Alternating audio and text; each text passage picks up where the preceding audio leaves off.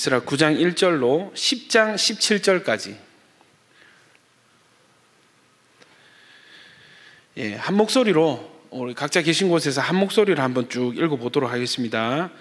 아, 시작. 이일 후에 방백들이 내게 나와 이르되 이스라엘 백성과 제사장들과 레위 사람들이 이 땅 백성들에게서 떠나지 아니하고 가나안 사람들과 헷 사람들과 브리스 사람들과 여부스 사람들과 암몬 사람들과 모압 사람들과 애굽 사람들과 아모리 사람들의 가증한 일을 행하여 그들의 딸을 맞이하여 아내와 며느리로 삼아 거룩한 자손이 그 지방 사람들과 서로 섞이게 하는데 방백들과 고관들이 이 죄에 더욱 으뜸이 되었다 하는지라 내가 이 일을 듣고 속옷과 겉옷을 찢고 머리털과 수염을 뜯으며 기가 막혀 앉으니 이에 이스라엘의 하나님 말씀으로 말미암아 떠는 자가 사로잡혔던 이 사람들의 죄 때문에 다 내게로 모여오더라.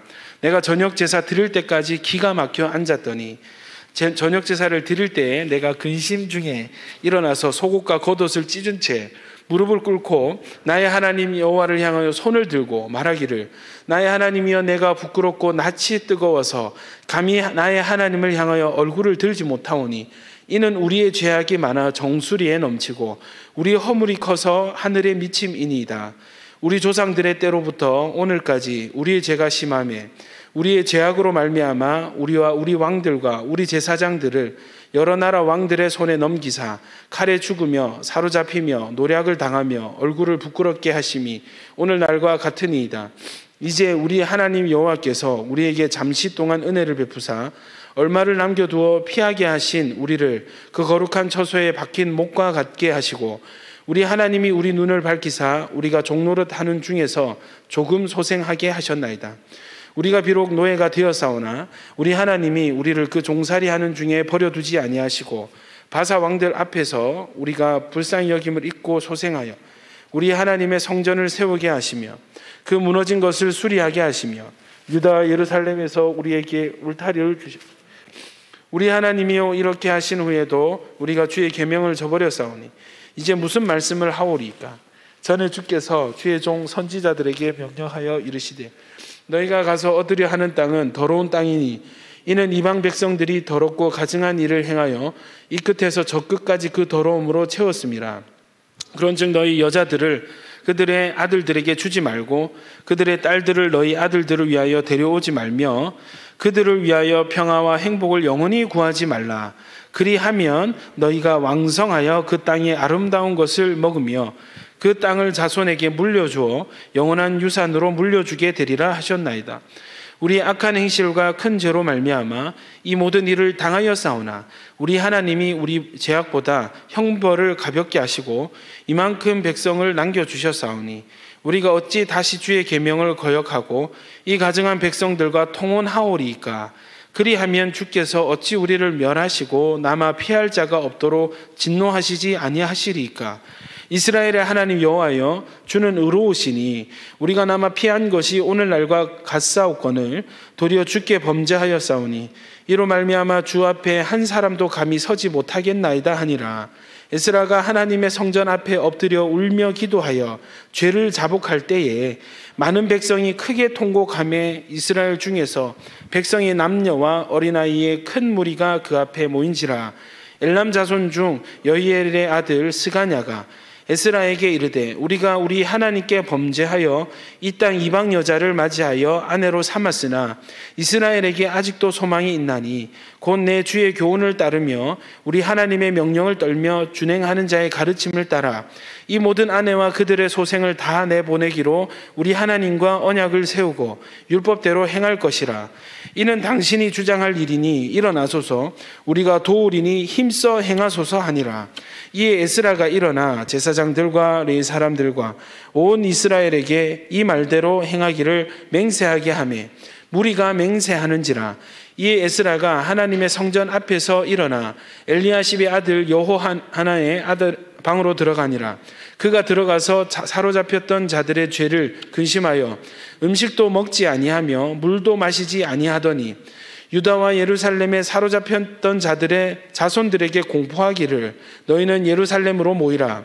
누구든지 방백들과 장로들의 훈시를 따라 3일 내에 오지 아니하면 그의 재산을 정몰하고 사로잡혔던 자의 모임에서 쫓아내리라 하며 유다와 베냐민 모든 사람들이 3일 내에 예루살렘에 모이니 때는 아홉째 달 20일이라.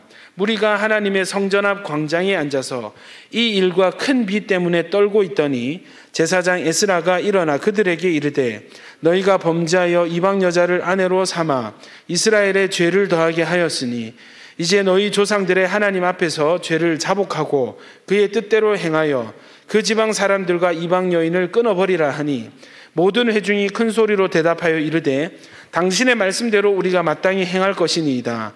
그러나 백성이 많고 또 큰 비가 내리는 때니 능히 밖에 서지 못할 것이요 우리가 이 일로 크게 범죄하였은즉 하루 이틀에 할 일이 아니오니 이제 온 회중을 위하여 우리의 방백들을 세우고 우리 모든 성읍의 이방 여자에게 장가든 자를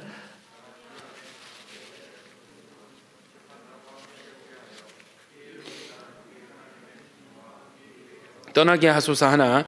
오직 아사엘의 아들 요나단과 디가의 아들 야시야가 일어나 그 일을 반대하고 무슬람과 레이 사람 삽부대가 그들을 돕더라. 사로잡혔던 자들의 자손이 그대로 한지라 제사장 에스라가 그 종족을 따라 각각 지명된 족장들 몇 사람을 선임하고 열째 달 초하루에 앉아 그 일을 조사하여 첫째 달 초하루에 이르러 이방 여인을 아내로 맞이한 자의 일 조사하기를 마치니라. 아멘. 할렐루야 어, 온라인으로 말씀을 함께 나누는 모든 야긴 보아스에게 하나님의 은혜와 축복이 가득하기를 축원합니다. 여러분 우리는 하나님의 은혜로 사는 자들입니다. 믿으시면 아멘. 여러분 내 힘으로 내가 잘나서 내가 잘 사는 것 같지만 여러분 실제로는 하나님의 은혜가 없으면 제 아무리 잘난 사람이라도 제 아무리 뛰어난 재능이 있는 사람이라도 여러분 한순간도 살 수 없는 생명을 유지조차 하기 힘든 연약한 존재가 저와 여러분입니다. 온전히 끝까지 하나님만 의지하고 하나님의 은혜를 구하고 하나님의 은혜를 받으며 사는 여러분 되시기를 주님 이름으로 축원합니다. 여러분 성령께서 여러분이 계신 그곳에 여러분의 심령 가운데 함께 계시는 것을 믿으십니까? 믿으시면 아멘. 여러분 성령이 여러분 안에 여러분과 함께 하십니다. 할렐루야. 여러분, 여러분 안에 있는 성령님께서 지금 여러분 안에 충만하여져서 이 말씀의 주파수와 여러분의 생각의 주파수가 맞아지는 일치하는 그 은혜가 있기를 예수님 이름으로 축복합니다. 여러분, 저는 한 번의 예배가 사람의 인생을 바꿀 수 있다고 믿습니다. 다시요. 저는 한 번의 설교로 한 번의 말씀이라도 그 하나님의 말씀은 천지를 창조한 하나님의 말씀이기 때문에 그 한 말씀이 그 심령을 내리치는 그 순간 그 심령은 변화되고 그 가족과 그 인생이 모두 변화되게 되는 일들을 간증을 통해 그리고 저의 일을 통해 저는 경험하고 그렇게 믿고 있습니다. 여러분 오늘 예배하는 여러분들 제가 얼굴을 아는 우리 약인 지체, 약인 보아스 지체들 혹은 제가 얼굴을 모르고 이름을 모르는 우연히 유튜브를 지나가다가 이 예배에 지금 함께하고 있는 이름 모를 성도님 혹은 예, 교회를 다니지 않는 여러분 오늘 이 예배가 이 말씀이 여러분의 심령과 여러분의 인생의 변곡점이 되는 그 예배가 되기를 축원합니다. 반드시 그런 일이 일어날 줄로 믿습니다. 할렐루야. 그래서 여러분 중심을 들이시고 함께 하나님의 은혜를 사모하는 마음으로 오늘 말씀을 나누었으면 좋겠습니다. 오늘 오늘은 에스라서 마지막 강해입니다. 어, 제목이요. 우리 한번 따라해 보시겠습니까? 거룩은 다시요. 거룩의 시작은 회개입니다. 다시 한번 더요. 거룩의 시작은 회개입니다. 마지막으로 거룩의 시작은 회개입니다. 믿으시면 아멘. 할렐루야. 여러분 성전이 완공이 되었습니다. 어, 학사 에스라가 선발이 되어서 레이 사람들과 제사장들을 데리고 다시 고국으로 돌아왔습니다. 2차 포로 기한이 시작된 것이죠. 어, 아하와 강가에서 에스라와 이 2차 포로 기한의 대상자들이 다 같이 모여서 어, 무엇을 했느냐? 우리 지난주 말씀 나눴죠. 금식 기도 기간을 3일간 선포를 했습니다. 왜 금식 기도를 선포했는가? 여러분, 지금 어마어마한 일들이 에스라와 그 2차 포로기한 대상자들 앞에 놓여져 있습니다. 당장 일어나는 문제는요, 인생의 문제가요, 두 가지인데요. 예. 지금 겪고 있는 문제와 앞으로 다가올 문제입니다. 예, 이두 가지 문제에서 결코 우리는 벗어날 수가 없습니다. 지금 어떤 문제가 있습니까, 여러분? 어, 모여서 돌아가야 되는데 레위 사람들이 한 명도 안 모인 거예요. 레위 사람들 없으면 제사장을 도울 사람이 없습니다. 제사장을 도울 사람이 없으면 제사장들이 예배 집례를 못 합니다. 그러면은 성전이 세워져도 예배 성전에서 예배가 드려질 수가 없, 게 되는 거죠. 이 현재 당면한 이 문제를 어떻게 돌파하느냐? 금식 기도를 선포합니다. 모두가 함께 금식하며 기도할 때에 여러분 각지에 있는 레이지파 사람들이 모이기 시작합니다. 자, 그렇게 한 천 몇 명 정도 되는 사람들이 모여서 돌아오는데 여러분 지난주에 말씀을 나눴습니다. 기억하시는 분들은 기억하실 것입니다. 여러분 현재 우리의 기도는 어, 지금 당장 그 기도에 응답이 떨어져도 그 응답의 실체는 지금 당장 나타나지 않는다는 것.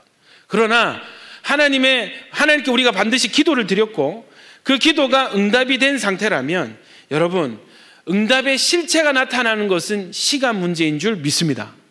아멘이십니까? 이거는요. 지금 당장 그 기도의 응답이 나타나지, 않는 순간 누구와 가냐면 기도하지 않는 사람과의 상태가 똑같아요. 왜냐하면 응답의 실체가 없기 때문에. 여러분, 그러니까 여기서 둘 다 속습니다. 기도했으나 응답받았으나 응답의 실체가 나타나지 않는 사람들은 하나님이 내 기도를 들으시지 않으셨는가?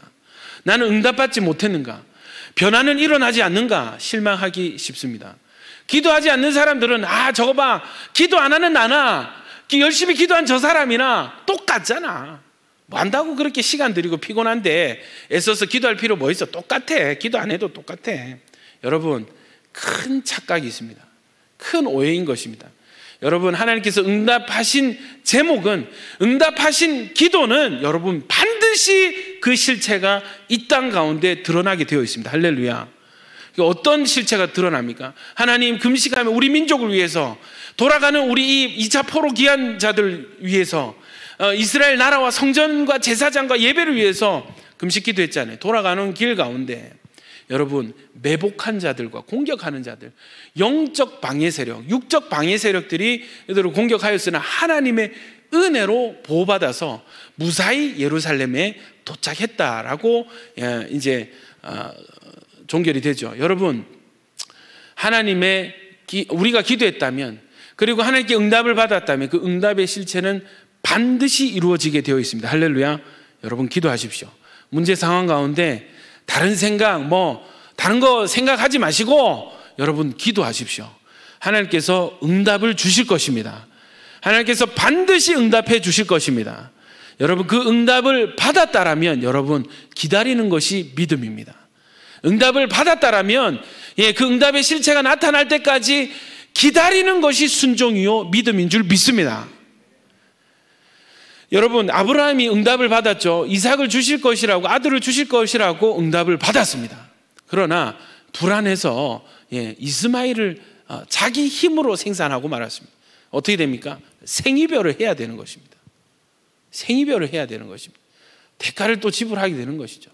여러분, 그렇게 인간적인 생각, 인간적인 생각 내려놓고 기도와 금식으로 하나님의 방법으로 문제를 해결해 나가는 것이 여러분에게 습관이 되기를 축원합니다. 아멘입니까?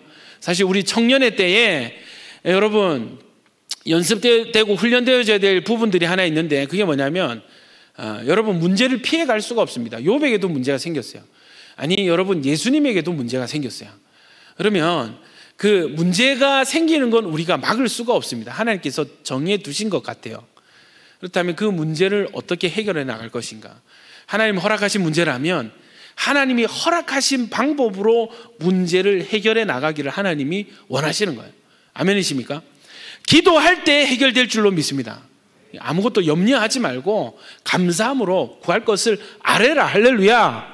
여러분 기도하면 하나님이 해결해 주시는 것이 우리에게 주어진 특권입니다. 아멘. 여러분, 에스라와 그 민족들이 여러분 이 이스라엘에 도착을 잘 했어요. 자, 인생은 산 넘어 산이죠. 어, 문제 넘어 또 다른 문제가 발생이 됩니다. 어, 어떤 문제가 발생하는가?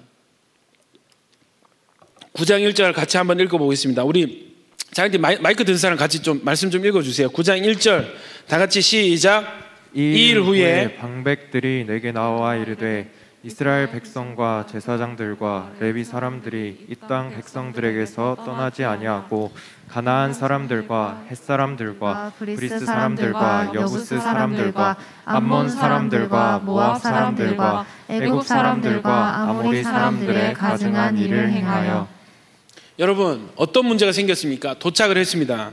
그런데 이일 후에 방백들이 내게 나와 이스라엘 백성과 제사장들과 레위 사람들이 이 땅 백성들에게서 떠나지 아니하고 가나안 사람, 헷 사람, 브리스, 여부스, 암몬, 모압, 애굽, 아, 애굽, 아모리 사람들의 가증한 일을 행하여 2절 그들의 딸을 맞이하여 아내와 며느리로 삼아 거룩한 자손이 그 지방 사람들과 서로 섞이게 하는데 여러분 보십시오.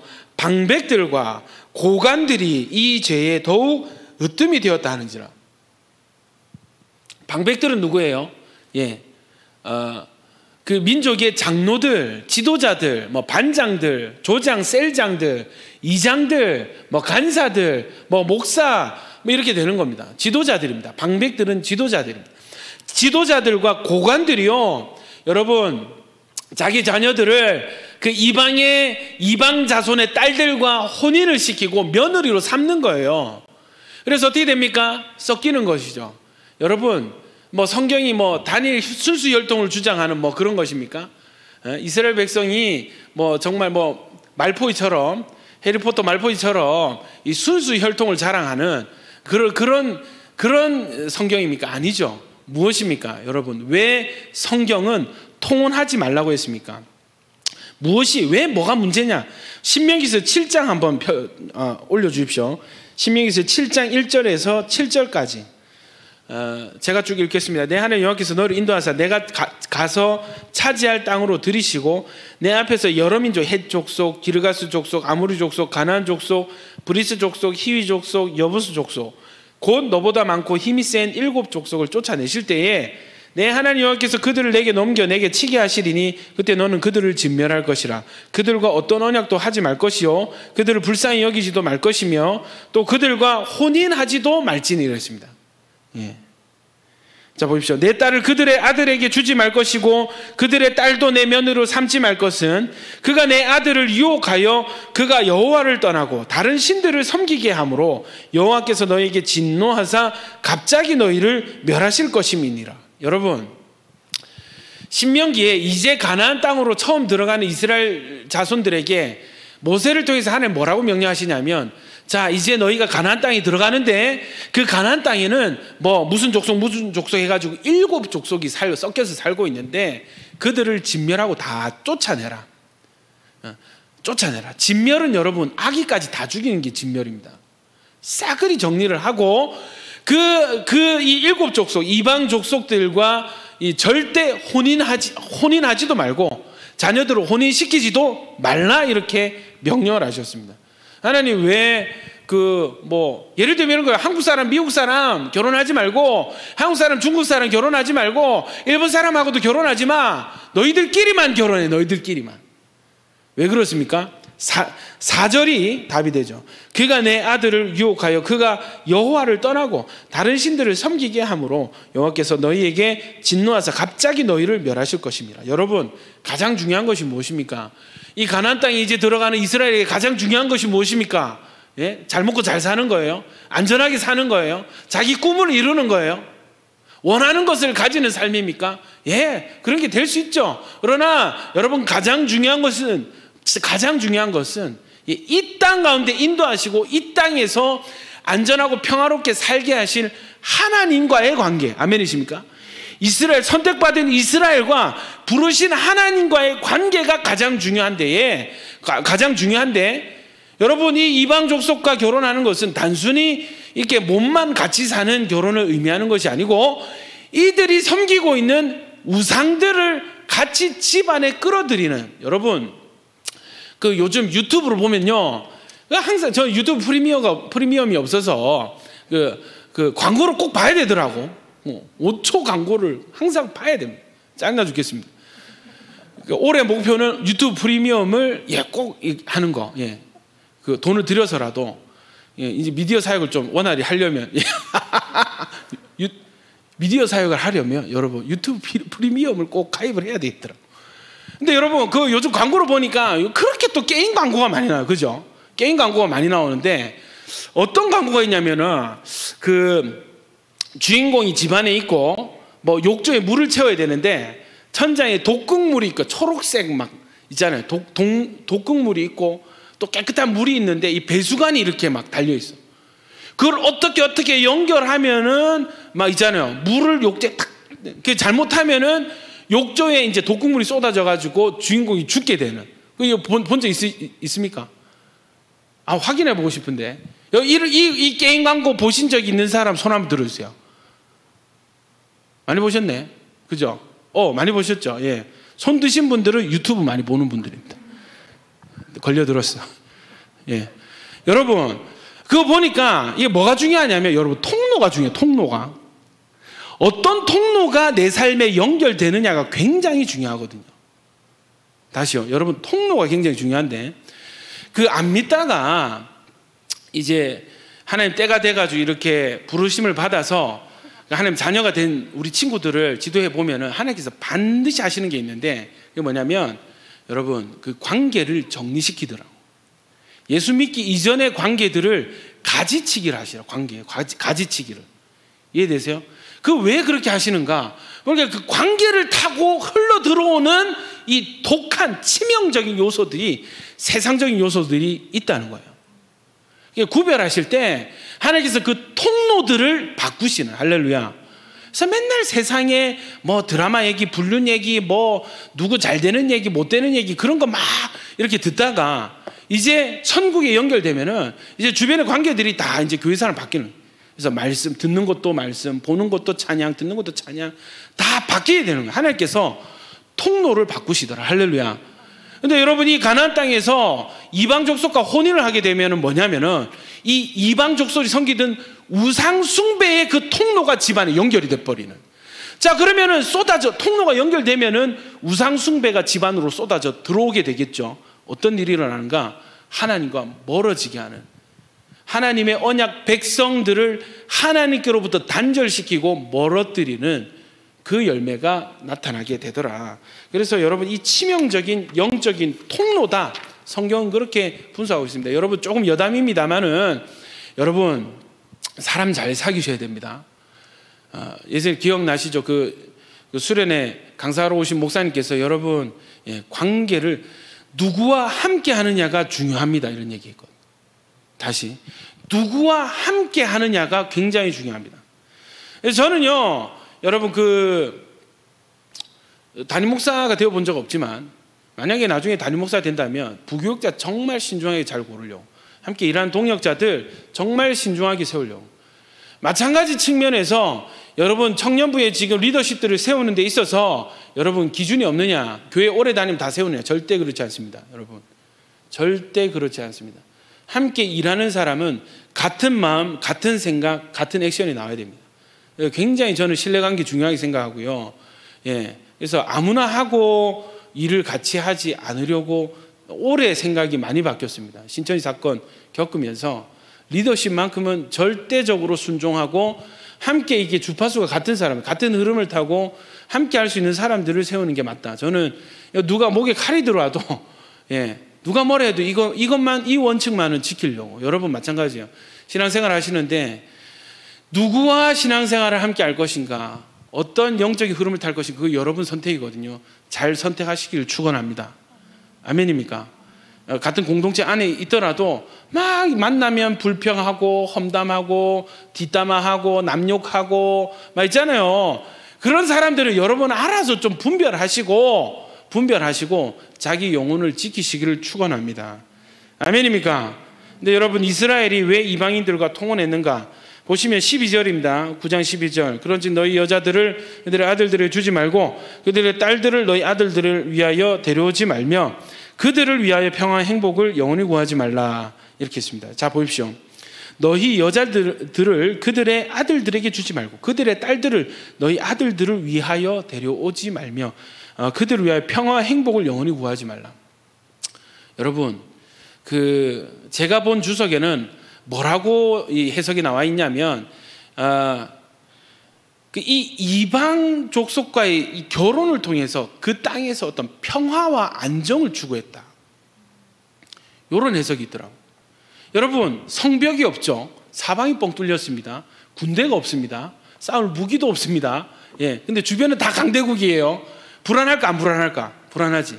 그때 인간적으로 낼 수 있는 생각이 뭐냐? 방법이 뭐냐면 어, 그들의 강한 그들의 자녀들과 약해 보이는 우리의 자녀들을 결혼시키는.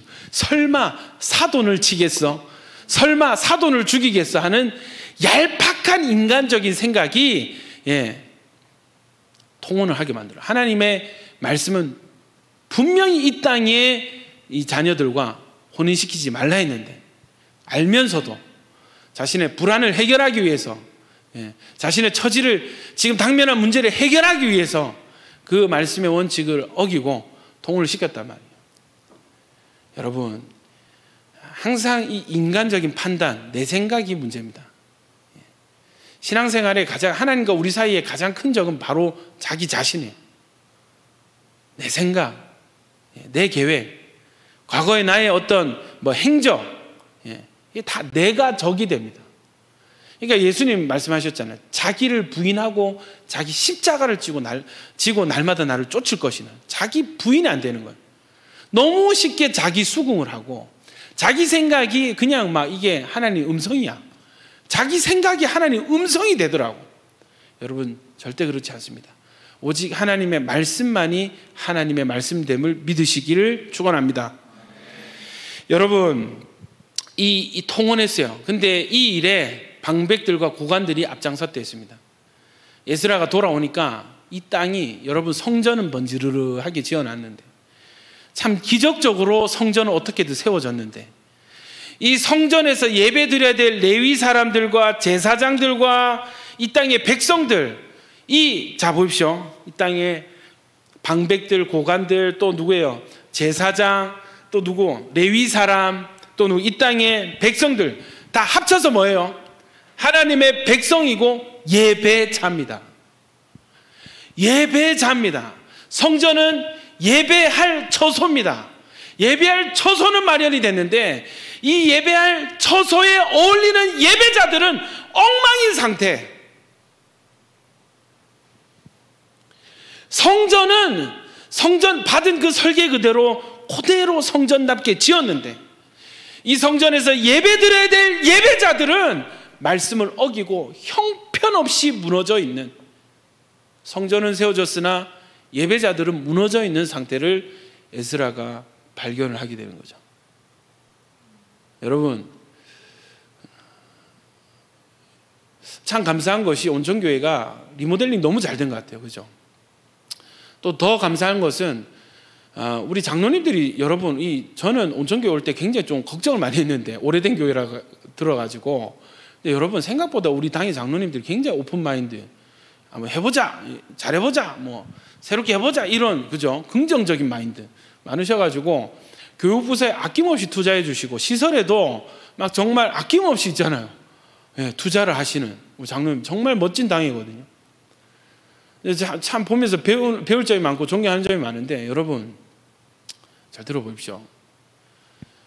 아무리 시설 투자가 이루어진다 한들 아무리 좋은 악기가 우리에게 주어진다 한들 여러분 중요한 것은 악기가 아니요 시설이 아니요. 하나님은요, 여러분 잘 들어보십시오. 하나님은 여러분 손에 어떤 좋은 악기가 들려 있는지 그거 안 보세요. 물론 저보고 악기 사람 저는 제일 좋은 거 삽니다. 무조건. 아시잖아. 알잖아. 저는 여러분 이왕 사는 거 무조건 좋은 거 사야 된다는 생각해요. 예. 근데 여러분, 우리 입장에서 더 예배 잘 드리려고 하는 거지. 하나님 입장에서 하나님 관점에서 예배를 평가하실 때 아이고 저 녀석들 아직도 저 아날로그 방식의 저어 그걸 쓰네 저 저 악기 나온 지 몇 년 전 건데 저걸 아직도 쓰네 여러분 하나님은 우리 손에 어떤 도구가 들려져 있는지 보지 않으십니다 하나님은 우리가 어떤 공간에서 예배 드리는지 보지 않으십니다 하나님은 예배자 예배자를 보십니다 여러분 창세기 보십시오 가인과 그의 제사는 받지 않으셨더라 했습니다. 가인의 제사만 받으신 게 아닌 게 아니라 가인과 그 가인이 드리는 예배를 받지 않으신 거예요. 여러분, 성전이 준비된 다음에는 예배자가 준비되어야 될 줄로 믿습니다. 여러분 우리 교회가 리모델링 너무 잘 됐죠. 할렐루야. 하나님의 은혜인 줄 믿습니다. 여러분 돈이 있어도 제가 알기로 뭐 특정 교회를 언급하지 않겠습니다만은 돈이 있어도 리모델링을 잘하고 싶지 전부 그죠? 근데 잘 되는 교회가 있고 안 되는 교회가 많습니다. 여러분 우리 교회는 리모델링 너무 잘 됐어. 그 한성교에서 오신 그 음향 감독님이 아 이 정도면 어 부산에 그 진짜 규모 있는 어느 교회보다 훨씬 집회하기 좋, 좋습니다. 진짜 훨씬 좋습니다. 종욱이가 지금 부산 시민회관에서 인턴으로 음향 인턴으로 지금 일하고 있는데 뭐라 하냐면 아 목사님 우리 교회 시설이 훨씬 좋습니다. 훨씬 훨씬 좋습니다. 우리 교회에서 더 많이 배웁니다. 이런 얘기를 하더라고. 여러분 정말 감사한 일입니다. 할렐루야. 자 보십시오. 리모델링이 완벽하게 됐습니다. 교회가 바뀌면 조명이 생기고 음향이 바뀌면 예배자가 달라집니까? 여러분 자연팀 여러분 우리 지금 앞에 자연팀 있는데 더 좋은 악기로 완전히 풀 세팅 다 바꿔줬어. 여러분 예배자가 바뀌어집니까? 그렇지 않거든요. 그렇지 않거든요. 여러분 지금 우리 교회 순서나 지금 에스라의 순서가 기가 막히지 않습니까? 성전이 완공된 다음에 하나님께서 세우시는 대상은 예배자인 줄 믿습니다. 하나님께서 지금 우리 가운데, 야긴 보아스 가운데, 여러분, 리모델링 되고 제일 수혜 있는 대상이 누굽니까? 여러분입니다. 청년 여러분들입니다. 할렐루야. 그러나, 우리가 알잖아. 아, 정말 이렇게 넓은 곳에서 예배하는 거에 아직 익숙하지 않아서 그런지 모르겠지만, 저번에 홀파를 두 번을 5층 교육관에서 했죠. 아, 예배하고 나서 전부 뭐라 그래요? 그래, 이건데, 여긴데, 이겁니다, 목사님. 여기가 우리 자리입니다. 넓지 않아도, 조명이 없어도, 악기가 좋지 않아도, 마음껏 부르짖을 수 있는 여러분 그 공간이 최고의 예배 공간인 거예요. 여러분 믿으시죠? 2층 본당이 그, 그런 예배 초소 되길 축원합니다. 할렐루야. 하나님께서 성전을 다시 세우시고 그 다음 손을 보시는 대상은 건물이 아니라 오히려 건물보다 더 중요한 무엇? 예배자들을 세우시기로 작정하셨습니다. 여러분 이 이스라엘의 예배자들의 상태가 엉망인 것을 하나님이 아셨죠. 예. 하나님께서 예, 픽하신 사람은 에스라였습니다. 하나님이 선택하신 사람은 역시나 하나님이 선택하신 이유가 있겠죠. 그 이유가 어디서 드러나는가? 9장 1절, 2절에서 드러나는 만약에 에스라가 이스라엘에 돌아와서 어허 어 성전 좋네. 이제 예배 드리면 되겠네. 아이고 뭐어저 상태 아뭐 상태 좀 안 좋으면 어때? 예배하면 되지. 어 괜찮아 괜찮아. 예 건물이 이렇게 좋은데 괜찮아 괜찮아. 이런 상태였으면 어땠을까? 에스라가 그런 수준이었으면 어땠을까? 이 이스라엘의 영적 개혁과 영적 부흥이 일어났을까? 절대 그렇지 않다는 것이죠. 여러분 역시나 하나님이 선택한 에스라는 하나님의 보시는 그 관점과 하나님의 마음이 동일하게 에스라에게도 있었다는 것입니다. 보자마자 이 상황을 보자마자 에스라의 반응은 통곡을 하는 것입니다. 한번 말씀 한번 보실래요? 3절. 3절 같이 한번 읽어 보겠습니다. 3절. 예. 같이 시작. 내가 이 일을 듣고 속옷과 겉옷을 찢고 머리털과 수염을 뜯으며 기가 막혀 앉아있니.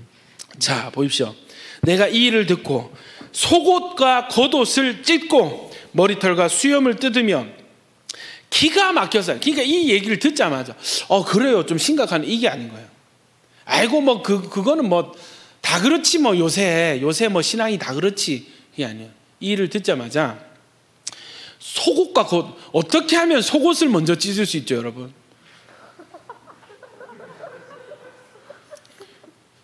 궁금하더라고 목사님 어떻게 속옷을 먼저 찢고 겉옷을 찢지? 제가 봤을 때 속옷과 겉옷을 같이 잡고 뜯은 게 아닌가? 예, 약간 쓸데없는 묵상이었습니다. 어쨌든 속옷과 겉옷을 찢고 이 머리털과 수염을 뜯었어요. 어, 여러분 이 행위가 뭐냐면 극심한 회개의 표현. 여기 여기 이제 정점을 찍은 게 뭐냐면 이 재에 앉아가지고 재를 머리에 뿌리고 하면은 더 좋은 회개. 예. 여러분 옷을 집어뜯고 머리털을 뜯고 수염을 뜯으면서 기가 막혀가지고 말도 못하고 앉아 있는 거예요. 엄청난 충격을 받았습니다. 에스라가. 여러분 하나님이 잘 보실까요? 에스라가 잘 볼까요? 하나님 더 잘 보실까요? 하나님 잘 보시죠. 학사 에스라 말씀 조금 아는 에스라가 이 영적 상태를 보고 기가 막혀 앉았다면 그 본질을 더 잘하시는 하나님의 마음은 어땠을까? 옷이 청개라면 청개를 다 찢었을 것입니다. 머리털을 모조리 뽑으 하나님에게 머리털이 있으셨다면 수염이 있으시다면 한 올 남기지 않고 다 뜯으셨을 것 같아요. 여러분 여기까지 에스라를 인도하신 그 하나님의 마음 너무 열받는다 너무 화가 난다 아니 어떻게 그렇게 어? 은혜로 기적같이 돌아와가지고 기적같이 성전 세워놓고도 처음 망했을 때 포로 끌려가기 직전에 그 행동을 지금 할수 있지? 지금 똑같이 그렇게 할 수 있지 어떻게? 하나님은요 이스라엘을 너무 사랑하셔서 후 불면 날아갈 이스라엘을 참으시고 참으셔서 참으시고 참으셔서 예, 에스라를 불러서 여기까지 인도하신 것입니다. 여러분 이것이 우리를 향한 하나님의 사랑인 줄 믿습니다. 여러분 몰래 죄지으면 아무 일 안 일어납니다. 다시요. 남 몰래 예, 몰래 죄지으면 죄짓고 난 뒤에 아무 일 안 일어납니다. 길 걷다가 위에서 벽돌 안 떨어집니다. 차가 달리던 차가 나를 향해서 덮치지 않습니다. 집에 도둑 들지 않고 강도가 나를 찌르지 않아요. 어제 살던 그때와 죄 짓고 오늘 살 때 똑같습니다. 그거를 평안이라 생각하면 절대 안 되죠. 여러분, 하나님께서 옷을 찢고 계십니다. 머리털을 쥐어 뜯고 계십니다. 하나님께서 끝내 끝내 인내하고 계시는 그 기간을 거짓 평안을 예, 평화의 기간으로 착각하시면 절대 안 됩니다. 그것은 인내하시는 기간이요 회개의 기회인 것입니다. 에스라가 왔어요. 옷을 찢습니다. 머리털과 수염을 뽑습니다. 기가 막혀 앉아 있습니다. 여러분, 죄에 대한 우리의 태도가 되어야 됩니다. 다시요. 지금 시대가 너무 악해져 가지고 죄가 문화로 되고 있고 죄가 문화가 되고 있어요. 연애하면은 예? 끝까지 가도 됩니까? 사랑하면은 무조건 결혼하는 게 맞습니까?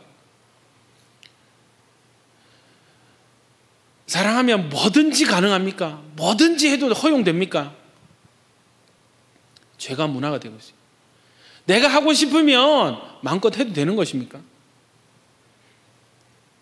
혹시 뭐라도 사랑하기 때문에 내가 원하기 때문에 다른 사람 다 그렇게 살기 때문에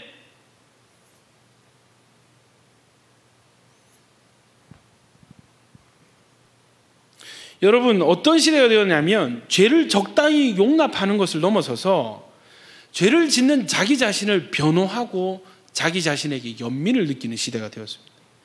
죄를 지을 수밖에 없는 자신의 처지에 대해서 변명을 해요. 자기를 변호하고 옹호하고 자기 자신을 보호해냅니다.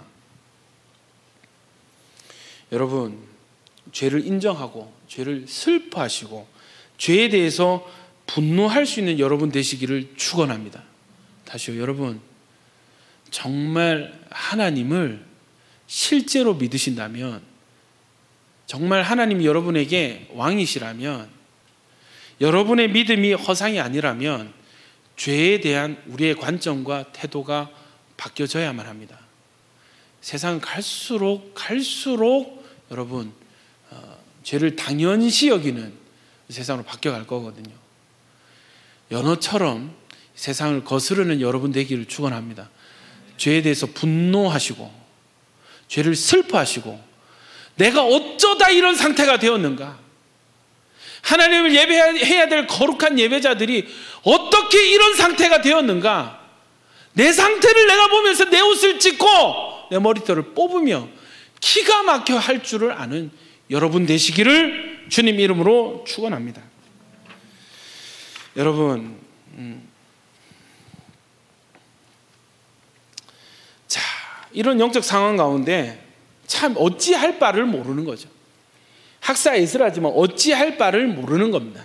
자 그런데 그때에 그때에 하나님의 은혜가 하나님의 사인이 예, 떨어져요. 어떤 일들이 일어나는가? 4절 같이 읽겠습니다. 시작. 이에 이스라엘의 하나님의 말씀으로 말미암아 떠는 자가 사로잡혔던 이 사람들의 죄 때문에 다 내게로 모여오더라.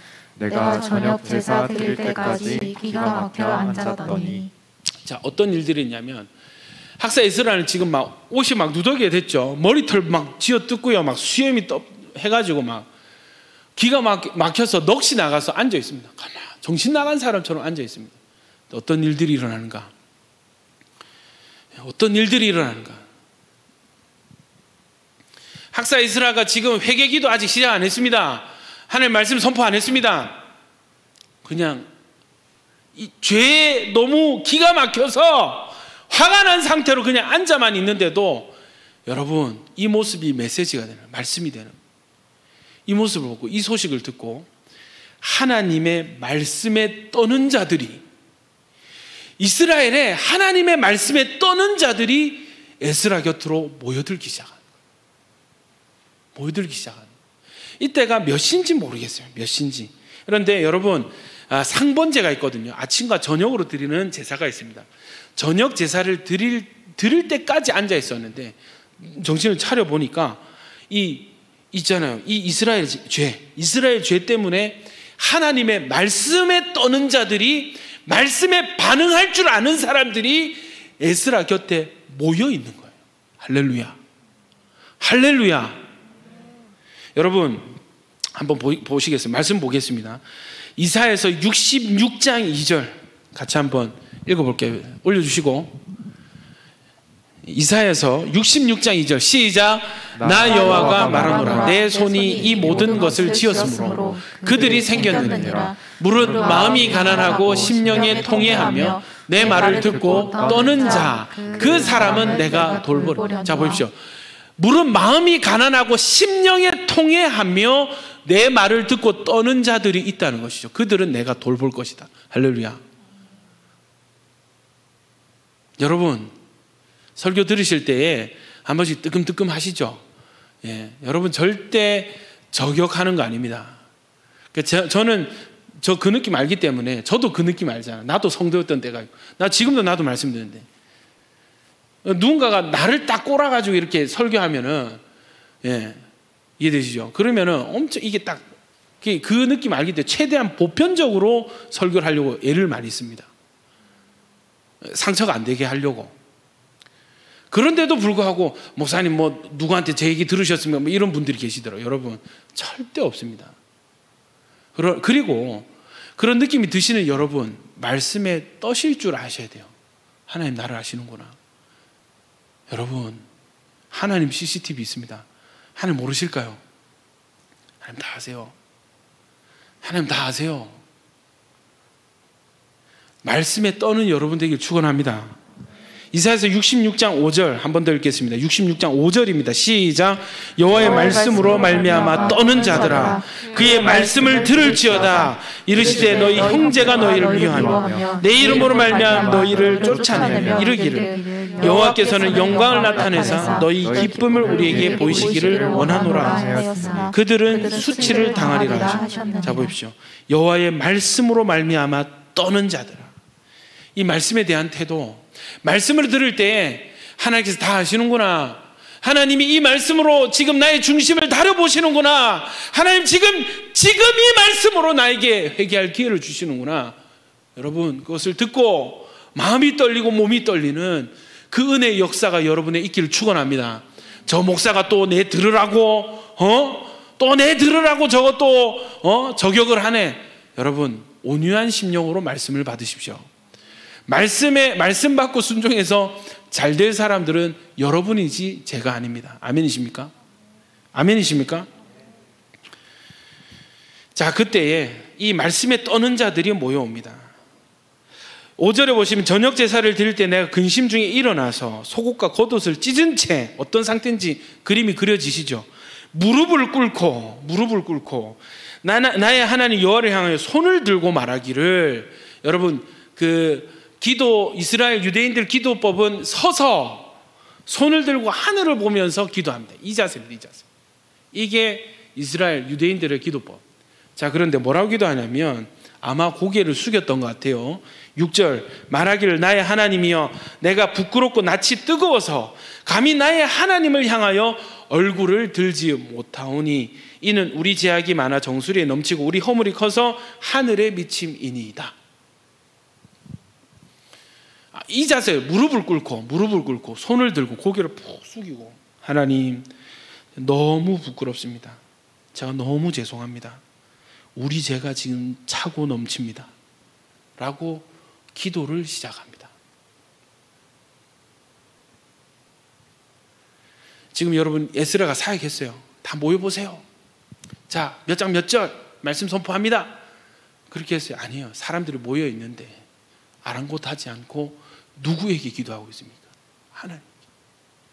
무릎을 꿇고 고개를 푹 숙이고 손을 들고 하나님 제가 너무 부끄럽습니다. 너무 죄송합니다. 우리 제가 차고 넘칩니다. 그러면서 기도를 쭉 하는데 그게 15절까지 내용이에요. 자, 어떤 내용이냐면 7절부터 10절까지는 하나님의 은혜로 여기까지 인도하시고 하나 우리 하나님께서 우리를 자 보십시오. 어떤 표현이 나오냐면 그 8절에 그 거, 우리를 그 거룩한 처소에 박힌 목과 같게 하시고 성전에 박힌 모처럼 우리를 보호하시고 종로로 타는 중에서도 조금 소생하게 하셨나이다. 9절 우리가 비록 노예가 되어 싸우나 우리 하나님이 그 우리를 그 종살이하는 중에 버려두지 아니하시고 예, 불쌍히 여김을 잊고 소생하여 성전을 세우게 하시고 그 무너진 것을 수리하게 하시며 유대와 예루살렘에서 우리에게 울타리를 주셨나이다. 여러분 아직 성벽이 건축되기 전이거든요. 느헤미야 때에 이 뒤에 성벽이 건축 이 되는데 하나님 우리 울타, 울타리가 어디 있어 울타리 없는데 누가 울타리가 되십니까? 하나님이 울타리가 되시고 하나님 지켜보시고 계시다는 것이죠. 아멘입니까? 하나님의 은혜로 여기까지 포로에서 기안에서 성전 세우고 지금도 이렇게 보호받고 있는데 10절 우리 하나님이여 이렇게 하신 후에도 우리가 주의 계명을 저버려 싸우니 이제 무슨 말씀을 하오리까? 하나님 이렇게 우리를 잘해 주셨는데 선대하셨는데 이렇게 우리에게 은혜를 베풀어 주셨는데 이렇게 우리를 보호해 주셨는데 우리가 또 우리 조상들처럼 죄를 똑같은 죄를 범하고 있습니다. 똑같은 죄를 범하고 있습니다. 그러면서 11절 보십시오. 어떤 죄를 행했는가가 쭉 나와요. 전에 주께서 주의 종 선지자들 명령 이루시기를 너희가 가서 얻으려 한 땅은 더러운 땅이니 이는 이방 백성들이 더럽고 가증한 일을 행하여 이 끝에 저 끝까지 그 더러움으로 채웠습니다. 그런지 너희 여자들을 그들의 아들들에게 주지 말고 딸들을 너희 아들들을 위하여 데려오지 말고 그들을 위하여 평화와 행복을 영원히 구하지 말라. 그리하면 너희가 왕성하여 그 땅이 아름다운 것을 먹으며 예, 물려주게 되리라. 우리 악한 13절 악한 행실과 큰 죄로 말미암아 이 모든 일을 당하여 싸우나 우리 하나님이 우리 죄악보다 형벌을 가볍게 하시고 이만큼 백성을 남겨 주셨사오니 우리가 어찌 다시 주의 계명을 거역하고 이 가증한 백성들과 통혼하오리이까? 그리하면 주께서 어찌 우리를 멸하시고 남아 피할 자가 없도록 진노하시지 아니하시리까? 15절 같이 읽습니다. 시작. 이스라엘의 하나님 여호와여 주는 의로우시니 우리가 남아 피한 것이 오늘날과 같사옵기 도리어 주께 범죄하 였사오니 이로 말미암아 주 앞에 한 사람도 감히 서지 못하겠나이다 요렇게 기도를 하고요 10장 1절에 에스라가 하나님 성전 앞에서 하나님 성전 앞에서 엎드려서 엎드려서 울며 기도하여 죄를 자복할 때, 뭐 할 때? 엎드려 울며 통곡하며 자복할 때. 줄여서 회개기도 할 때, 여러분, 회개기도 하니까 너무 이, 이, 이, 뭐랄까요? 이 분위기가 사라지는 거예요. 회개기도. 회개기도문 읽고 주여 잘못했습니다. 아멘. 그런 그런 주문해오는 회개기도 말고 너무 이 죄의 실체가 너무 실체가 돼가지고 견딜 수가 없고 부끄럽고 죄송해서 엎드려서 울면서 통곡하는 회개. 통곡하는 회개. 여러분, 우리가 얼마나 세상과 통혼했냐 하면요. 우리가 얼마나 세상과 통혼했냐 하면요. 죄를 보면서 떳떳해. 엎드려서 울면서 통곡하고 머리털을 쥐어 뜯어야 될 그 죄 앞에 우리 그게 문화야. 아무렇지도 않아. 여러분, 이 상황이, 이 상태가 우리와 상관없다고 자신있게 이야기할 사람이 누가 있습니까? 그건 그때고요. 지금은 다릅니다. 할 사람이 누가 있냐고. 하나님 보시기에 통곡을 하실 그런 상태인데 우리 너무 멀쩡하게 어 뭐 저만 그럽니까? 저만 그래요? 네? 나만 죄인입니까? 다 그렇게 하는데요. 너무 행복해. 너무 아무렇지 않아.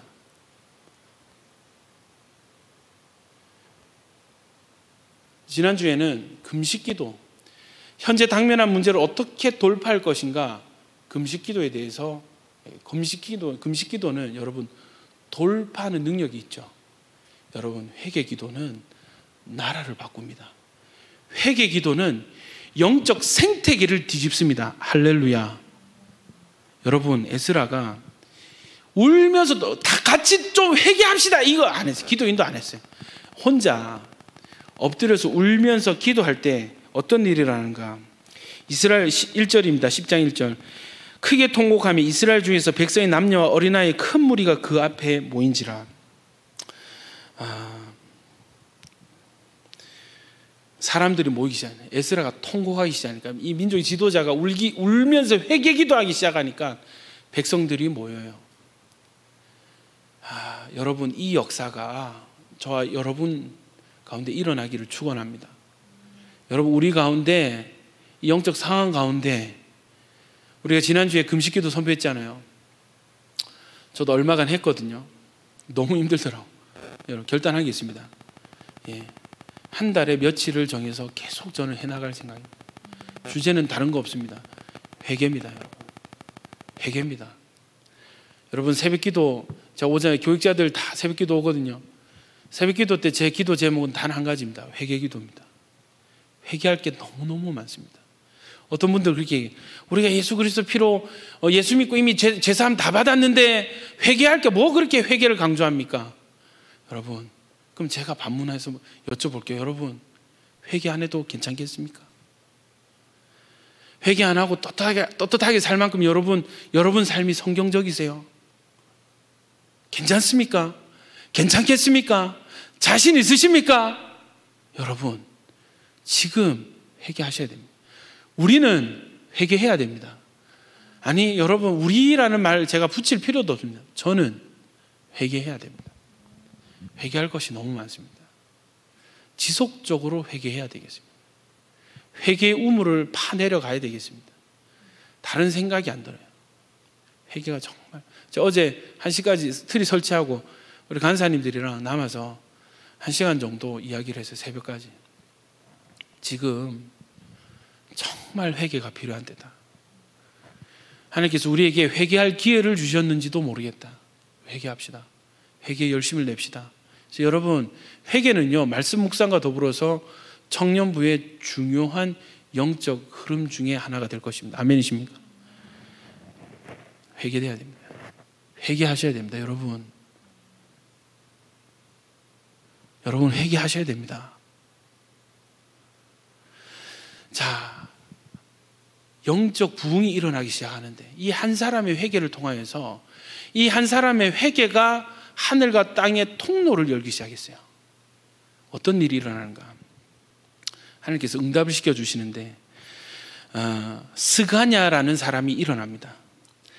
아, 에스라서 10장 2절부터 보시면 엘, 엘람 자손 중 여히엘의 아들 스가냐가 에스라에게 이르되 우리가 우리 하나님께 범죄하여 이 땅 이방 여자를 맞이하여 아내로 삼았으나 이스라엘에게 아직도 소망이 있나니 할렐루야 할렐루야 회개할 수 있다면 회개할 사람들이 있다면 그곳에는 소망이 있는 줄로 믿습니다.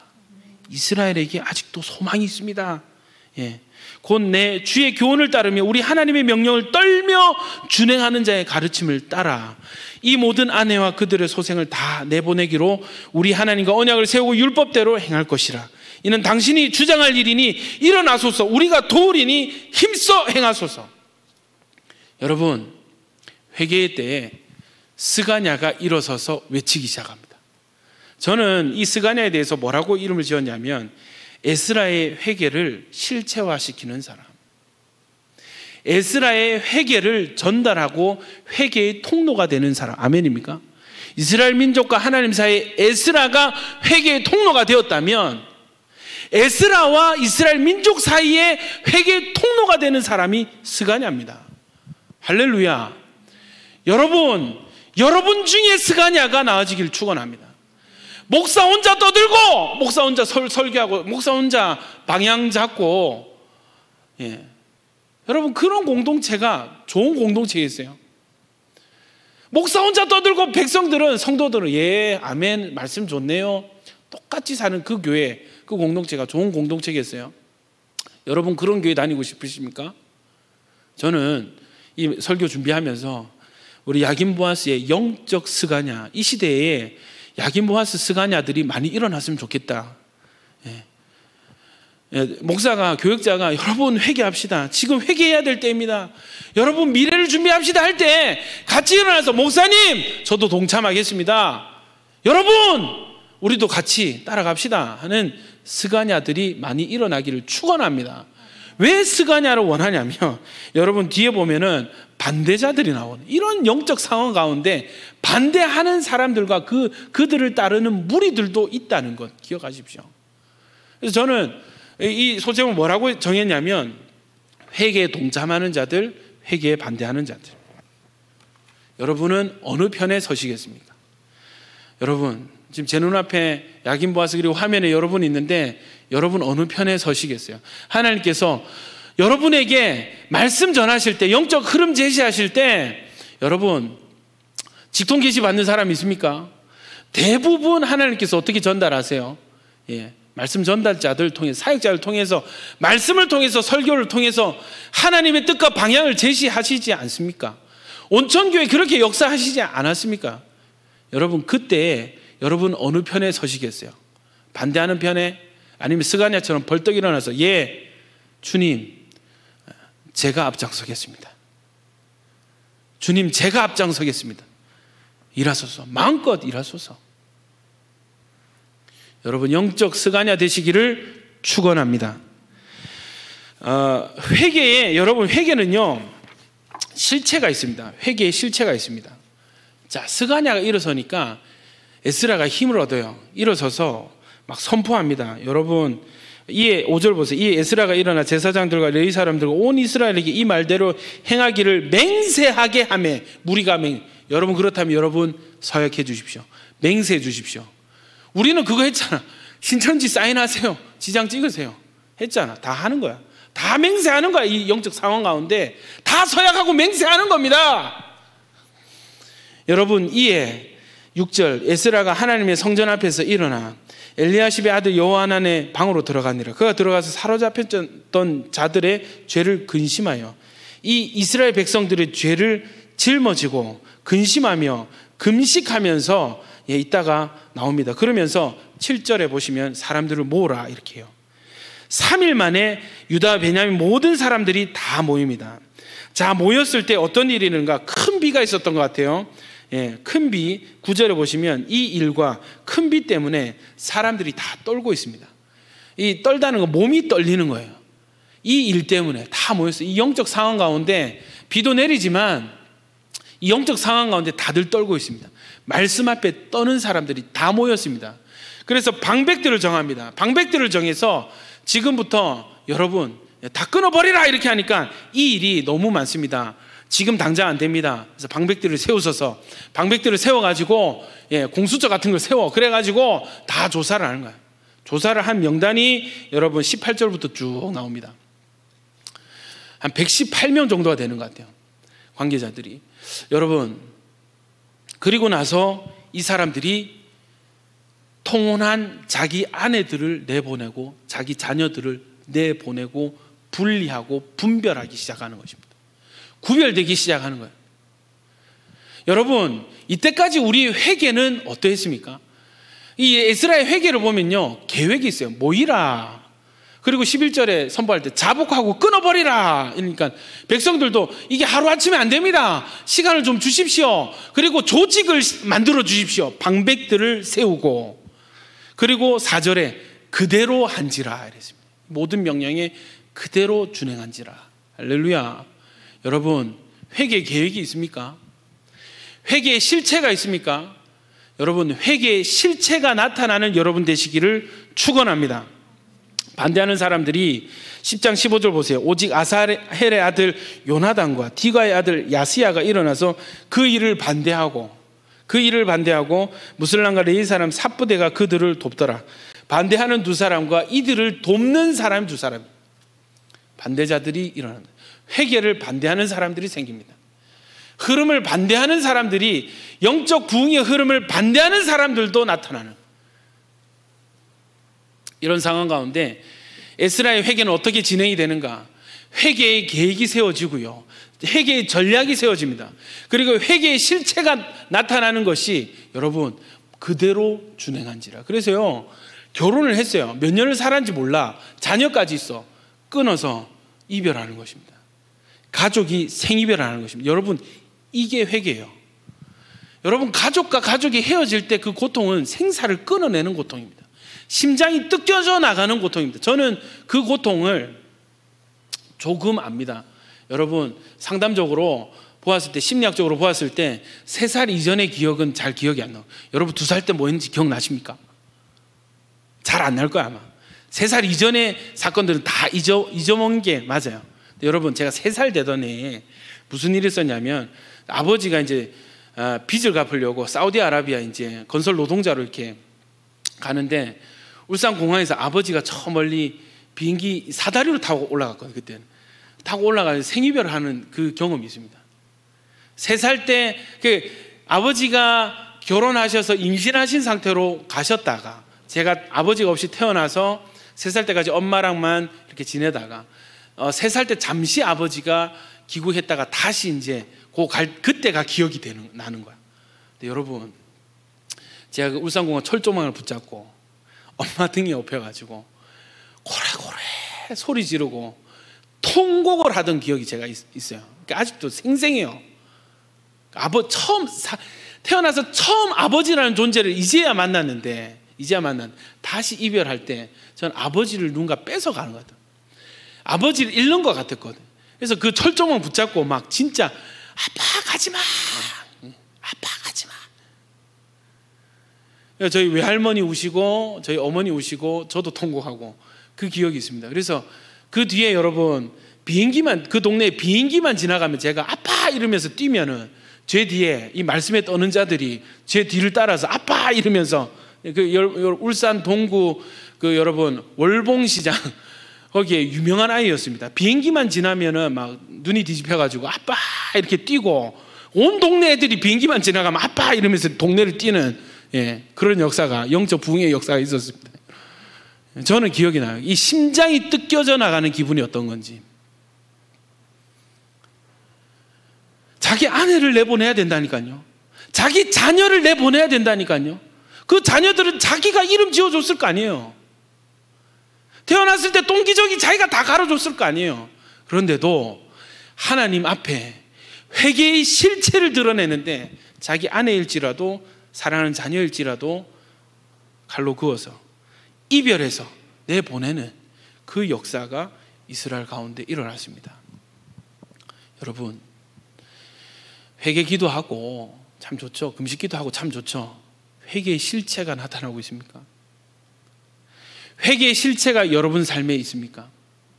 회개 기도는 열심히 하는데 예, 기도하기 전이랑 후랑 똑같은 삶을 살고 있다면 여러분 그것은 실체 없는 회개입니다. 실체 없는 회개입니다.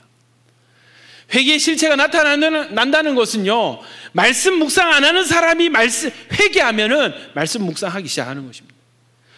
기도 안 하는 사람이 회개하면요, 기도하기 시작하는 것입니다. 기도하는 시간이 정해지기 시작하는 거예요. 기도의 자리 지켜지는 거예요. 할렐루야. 예배하지 않는 사람이 회개하면요, 예배 자리에 예배 장소에 앉아 있게 되는 것입니다. 할렐루야. 이게 회개의 실체입니다. 죄 짓는 사람이, 예, 음란 영상 보는 사람이 회개하면요, 그 하드 디스크 버리는 것이죠. 컴퓨터 그냥 버리는 것입니다. 게임 중독 빠진 사람이 회개하면요, 게임 아이디 삭제, 계정 삭제하는 것입니다. 여러분, 이게 회개의 실체입니다. 자, 우리 말씀 읽고, 어, 마치도록 하겠습니다. 어, 누가복음 우리 예수님 말씀 먼저 볼게요. 누가복음 3장 8절. 예수님 뭐라고 하시냐면 아, 세례 요한의 말, 말입니다. 그러므로 회개에 합당한 열매를 맺고 속으로 아브라함이 우리 조상이라 말하지 말라. 내가 너에게 이르노니 하나님이 능히 이 돌들로도 아브라함의 자손이 되게 하시니 이미 도끼가 나무 뿌리에 놓였으니 좋은 열매 맺지 아니하는 나무마다 찍혀 불에 던져지리라. 네. 그러니까 막 물어봐요. 세리들도 세례를 받고자 하여 12절 선생님 우리는 무엇을 하리까? 예, 이르되 부가 된 것 외에는 거두지 말라. 회계의 실제 뭐예요? 세리들 하는 게 뭐예요? 삥땅 치잖아. 예, 10만 원 세금 받아야 될 거 20만 원이라 해가지고 20만 원 받아야 10만 원 로마 내고 10만 원 자기가 받잖아. 이 사람이 이 세리가 회개하면 어떤 일이 일어나요? 10만 원만 걷는 거예요. 딱 부가된 것만 걷는 거예요. 자기는 월급으로만 만족해야 돼요. 그러면 이 회개의 실체가 나타난 뒤의 삶은 어떤 삶이겠어요? 예, 수입이 줄어든 삶을 살아나가는 것이 회개입니다. 군인들이 물어 이르되 우리는 무엇을 하리까 하며 이르되 사람들에게서 강탈하지 말며 거짓으로 고발하지 말고 받는 급료를 족한 줄로 알라. 군인들이 회개하면요 죄 없는 사람 때리면 안 되는 거예요. 하나도 참아야 돼. 강탈하면 안 돼. 뺏으면 안 돼. 당연히 지갑이 얇아지겠지. 수입이 줄어들겠지. 이 사람이 군인의 회계는요, 회계된 삶은요, 그냥 월급으로만 살아가는 삶이 회계한 삶이라고. 야고보서 2장 14절입니다. 내 형제들아 만일 사람이 믿음이 있노라 하고 행함이 없으면 무슨 유익이 있으리요? 그 믿음이 능히 자기를 구원하겠느냐? 만일 형제나 자매가 헐벗고 일용할 양식이 없는데 너희 중에 누구든지 그에게 이르되 평안히 가라 덥게 하라 예, 따뜻하게 지내 예, 평안히 지내. 어, 밥은 먹었니? 밥은 안 사주는 거야. 그 몸에 쓸 것을 주지 아니하면 무슨 유익이 있으리요? 이와 같이 행함이 없는 믿음은 그 자체가 죽은 것이라. 어떤 사람은 말하기를 너는 믿음이 있고 나는 행함이 있으니 행함이 없는 내 믿음을 내게 보이라. 나는 행함으로 내 믿음을 내게 보이리라. 너는 믿음이 있고 나는 행함이 있으니 행함이 없는 네 믿음을 내게 보이라. 나는 행함으로 내 믿음을 내게 보이리라.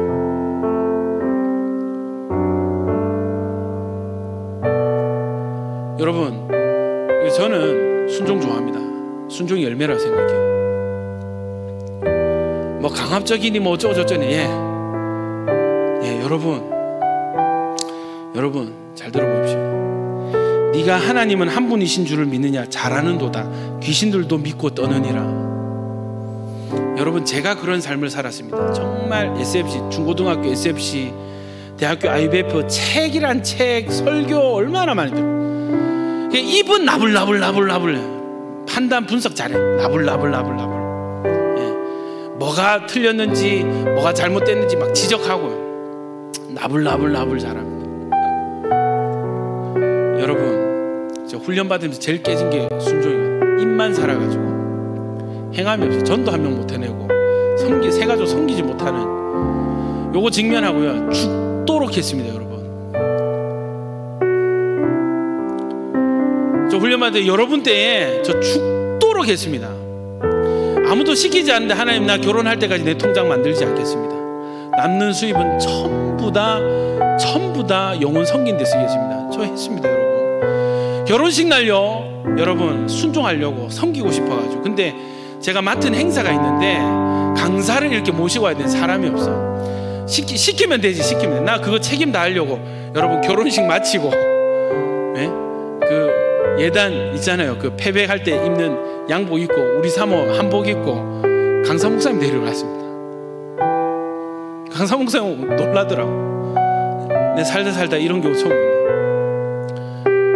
그래서 그날 집회 10시까지 다 치르고 고 복장 그대로. 예, 우리 사모 교회 와서 옷 갈아입고 그 양복 그대로 입고 예, 집회 하고요. 모셔다 드리고 저희 신혼집에 왔습니다.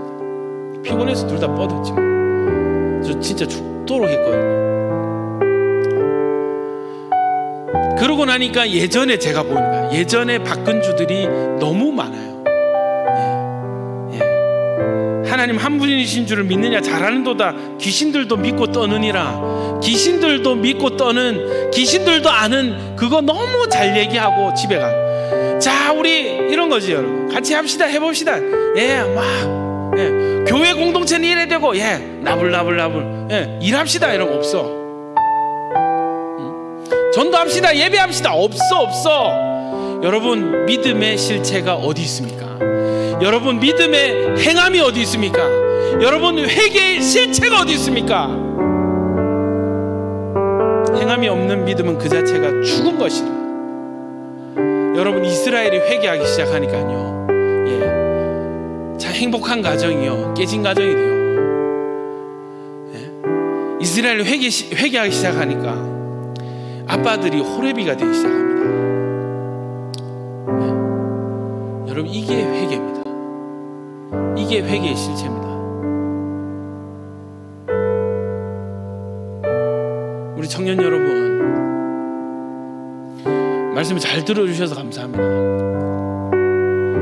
저나 여러분 우리에게 필요한 것은 실체가 있는 회개, 실체가 있는 회개, 변화가 있는 회개가 필요합니다. 울며 통곡하면서 내 상태를 내 시각으로 보는 것이 아니라 내 상태, 우리 상태를 다른 주변 주변인들과 비교하면서 주변의 판단으로 인식할 것이 아니라 내 상태, 우리 상태를 하나님의 눈으로 보고 그냥 기가 막혀서 기가 막혀서 내가 어쩌다 이런 상태가 되었는가? 내가 어쩌다가 이렇게 죄에 익숙한 사람이 되었는가? 통곡하고 주저앉아서 그냥 마냥 엎드려 울 수밖에 없는 그런 회개가 우리 가운데 시작되기를 간절히 소망합니다. 여러분, 제가 말씀드렸죠. 우리 은혜 없이는 살 수 없습니다. 은혜 받기 위해서 중요한 게 뭐라고요? 하나님과 관계죠. 하나님 관계에서 우리에게 요구하시는 것이 단 한 가지입니다. 거룩입니다. 거룩하지 않은 사람은 하나님을 볼 자가 없습니다. 하나님 앞에 거룩 없이 설 수 없습니다. 나아갈 수 없습니다. 거룩이 필요합니다. 근데 우리 상태는 기가 막힌 상태가 되었잖아요. 이런 상태에서 여러분 거룩의 시작은 회개부터인 것입니다. 회개하는 그 순간부터 하나님 우리를 거룩하다 인정해 주시기 시작하시는 것입니다. 회개하는 그 순간부터 우리는 거룩해져 나가는 것입니다. 할렐루야. 여러분, 거룩의 시작은 회개입니다. 우리가 회개할 때 우리 안에 무너졌던 거룩한 성전이 다시 세워지고 무너졌던 예배자들이 회복되는 역사가 있게 될 것입니다. 여러분, 이 좋은 성전에 걸맞는 예배자가 되시기를 축원합니다. 여러분 눈에 보이는 성전 아니라 진짜 중요한 성전, 우리 내면의 성전. 이 내면의 성전의 기준은 거룩이죠. 거룩의 거룩한 성전을 여러분 인생 가운데 여러분의 신앙이라는 거룩한 성전을 다시 세워 나가는 야긴 보아스 성전의 두 기둥 되기를 축원합니다. 여러분 이 시간 한번 어, 기도할 때에 하나님 우리 가운데 회개의 영을 부어 주십시오. 회개의 영을 부어 주십시오. 여러분이 한 사람 에스라의 회개를 통하여서 이스라엘 전체에 이, 이 마음이 스가냐에게 전달이 되고 스가냐의 선포를 통해서 이스라엘 전체로 회개가 확산된 것처럼 하나님 나의 회개가 우리 공동체의 회개가 되게 하시고 우리 공동체의 회개가 이 부산 땅의 회개가 되게 하여 주시옵소서. 여러분 영적인 스가냐로 영적인 에스라로 결단하시고 오늘부터 주님 회개해 나가겠습니다. 나의 회개는 그냥 말로만 나불나불 흩어지는 회개가 아니라 실체가 드러나는 행함 있는 회개가 되게 하여 주시옵소서. 변화가 있는 회개가 되게 하여 주시옵소서. 말씀 묵상하지 않았던 죄를 회개합니다. 기도하지 않았던 죄를 회개합니다. 형제를 사랑하지 않았던 죄를 회개합니다. 돌보지 않고 게으르고 이기적이었던 죄를 회개하오니 주여 변화가 일어나게 하여 주시옵소서. 우리 주여 한번 외치고 뜨겁게 한번 기도하겠습니다. 주여 주님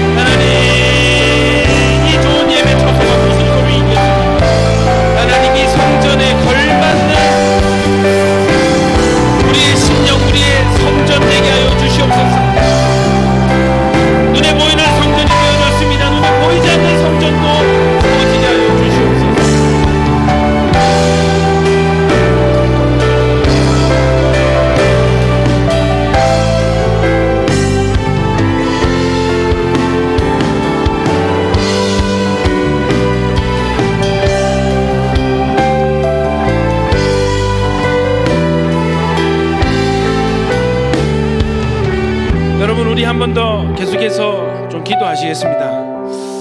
아, 여러분 제가 다 말하지 않아도 제가 다 뭐 현장을 목격하지 않고 누군가에게 듣지 않아도 여러분 사람이 영이잖아요. 느껴지는 게 있거든요. 제가 여러분 맡은 목자잖아요. 주님께서 주, 주시는 감동이 있거든요. 여러분 정말 지금 우리가 통곡해야 될 때입니다. 통곡해야 돼. 여러분 죄를 붙들고 언제 마지막으로 울어보셨어요? 그 죄의 심각성, 그 죄의 치명성을 언제 한번 직면해 보셨어요? 근데 죄가 언제부터 그렇게 통원하셨습니까? 세상과 언제부터 그렇게 통원하셨습니까? 여러분 정말 정말 위기감을 저는 느낍니다. 위기감을 느낍니다. 저 회개를 좀 선포하고 싶습니다. 좀 이 2020년 이 점으로 가는 이 해에 이 시점에 남은 기간들 좀 회개했으면 좋겠어요. 우리가 하나님 앞에 교만했던 거, 예, 자기 중심적이고 교만하고 사랑이 없고 또 영적으로 게을렀던 것들 좀 회개했으면 좋겠어요. 하나님을 하나님답게 섬기지 못했던 것들, 예, 연기했던 것들만 예, 음란하고 예, 음란한데 그것을 계속 변명하고 외면하는 예, 여러분 살을 끊어내는 실체가 없으면 그 죄는 안 끊어집니다. 우리 청년의 때 여러분 잘 들어보십시오.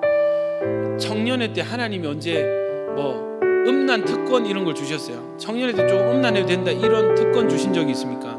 성경 어디에도 봐도 그런 말씀이 없어요. 하나님 백성은 하나님 앞에 순결해야 되는 줄로 믿습니다. 하나님의 기준은 한 번도 타협된 적이 없습니다. 여러분 청년이라고 마음껏 음란하시겠습니까? 청년이라고 마음껏 그 음란의 죄를 여러분 숨기시겠습니까? 이제 좀 잘라낼 때가 되었습니다. 살을 도려내듯이 살을 도려내듯이 심장을 뜯어내는 고통을 감수하고서라도 여러분 회개해야 될 때입니다. 새벽 이슬 같은 주의 자녀들 되기를 축원합니다. 예, 그거 없이 이거 없이 거룩함 없이 우리가 쓰임 받겠다 하는 이거는 교만이에요.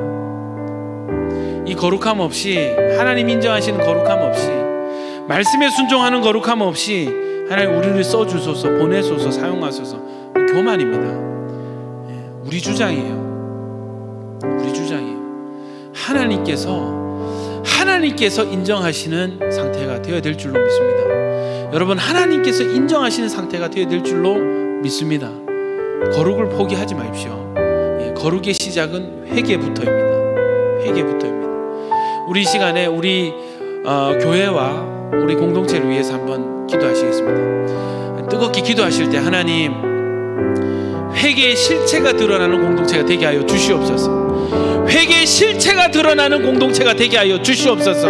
우리 뜨겁게 한 5분간 우리 각자 계신 곳에서 소리내서 하나님 이 공동체 회개의 열매가 맺어지는 회개에 합당한 열매가 맺어지는 교회 되게 하여 주시옵소서. 우리 주여 한번 주기도 합니다. 주여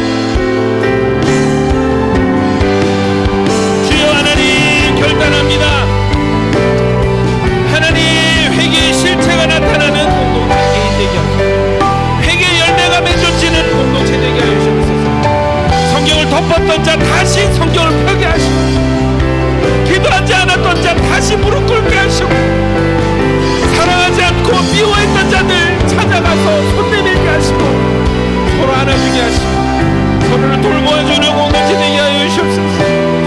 하나님 회개하고 하나님 저부터 회개하시고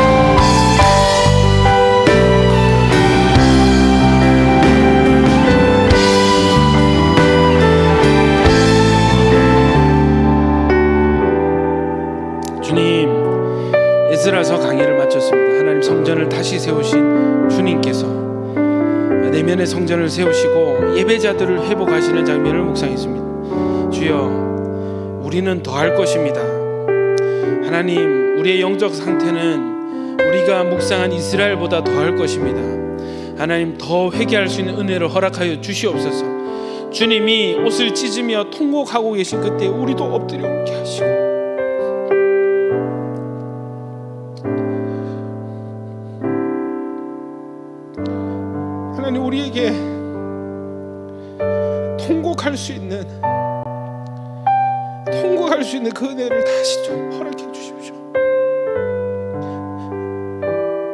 주님과 닮지 않은 나의 모습을 붙잡고 씨름하며 몸부림치고 하나님 성령 안에 사는 그 근심을 회복시켜 주셔서 구원이 이루어지게 하시고 하나님 내 안에 영적 부흥이 시작되게 하여 주시옵소서 우리 공동체 가운데 영적 부흥과 각성이 시작되게 하여 주시옵소서 하나님 기도라는 금식 기도와 회개 기도라는 두 가지 하나님의 방법을 배웠습니다.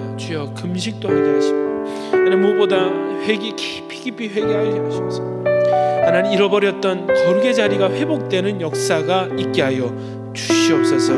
예수님 이름으로 기도드립니다.